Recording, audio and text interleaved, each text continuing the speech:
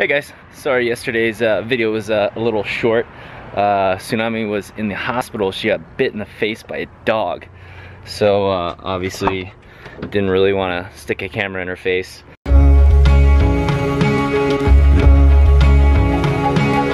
Today I've just been editing and um, just been catching up. Uh, it's funny. I took a couple days off editing, just like busy with stuff and was in the mountains and last night's ordeal and stuff like that. I, uh, didn't realize that I got a couple days behind. So this uh, vlogging, daily vlogging is definitely a learning process. Um, it requires a lot of work all the time. And um, my hat goes off to all you daily vloggers out there that are super consistent with the edits and the uploads. I mean, it's just a tremendous amount of work and um, you know, it's, it's a lot more than I bargained for, but I'm having a great time. Don't get me wrong. Uh, this has been an awesome experience so far. And, um, you know, creating my own content has, has really been a good thing for me uh, because for so long, you know, I was trying to get on Travel Channel and hustling, you know, producers and casting people and stuff like that. And, you know, essentially I was giving my personal power away to, you know, to someone else to decide if I was going to be successful or not. So here I am talking to my right hand, uploading videos every day, have some amazing sponsors, uh, Virgin Mobile, AM Solar, and uh, Yogabed, which is right here and super comfy. Um, but yeah, it's been, it's been a super cool, you know, experience and changing venues has been a, a great thing. Really been enjoying uh, Utah and Musso and Tsunami's been hanging out and Tsunami's brother Nate. Um, so yeah, um, anyways, today I'm gonna go get some Mexican food.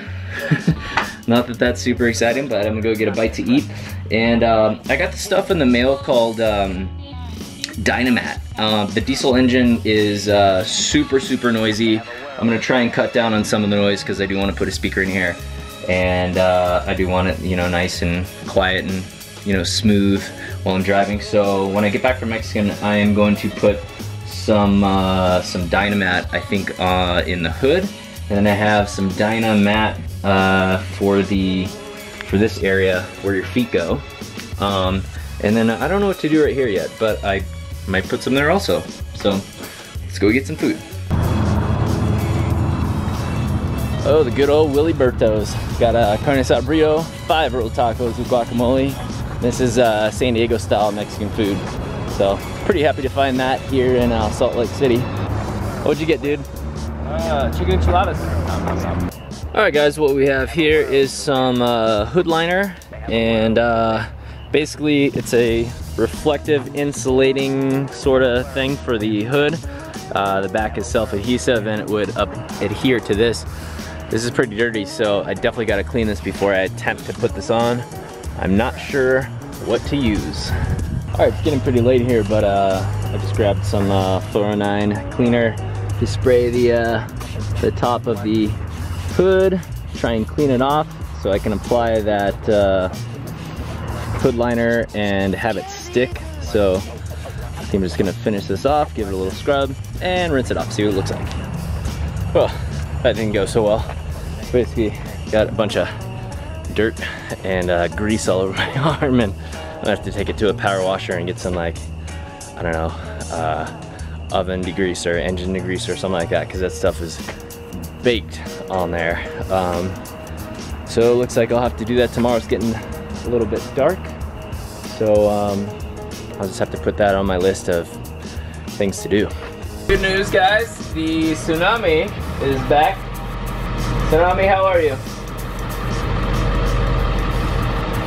So-so. Tsunami got bit by a dog yesterday. You want, you want to show me?